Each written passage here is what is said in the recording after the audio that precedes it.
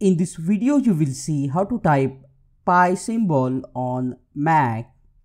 If you have MacBook Air or MacBook Pro, you can easily type Pi symbol.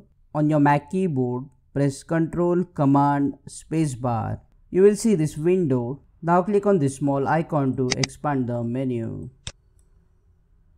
And under the math symbols, scroll down at the bottom and here is the pi symbol.